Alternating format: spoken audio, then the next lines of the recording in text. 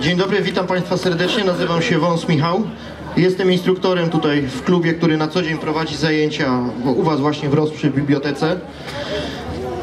Tu przed Wami siedzi niemalże w pełnym składzie, ale chyba nawet w pełnym składzie grupa dziecięca, bo głównie one tutaj ćwiczą. Brawa dla nich przede wszystkim.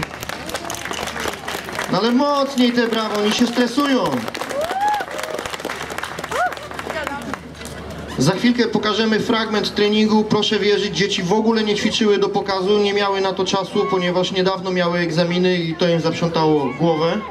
Świeżo zdane egzaminy, też brawa dla nich, wszyscy zdali.